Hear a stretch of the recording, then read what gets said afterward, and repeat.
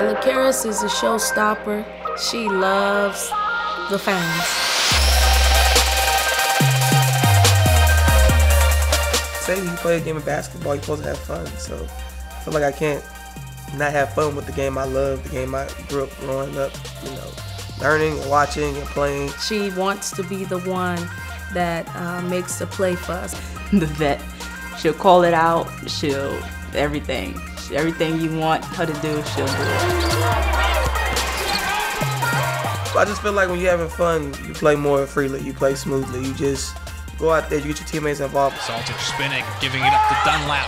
Nice shot right there by Salter from behind the arc. I'll tell you, Salter has come in off the bench and has been a difference maker. She just feels like if, if not her, then who?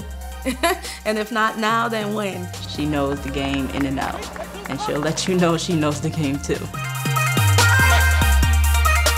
But overall, she's just a great person and fun to be around.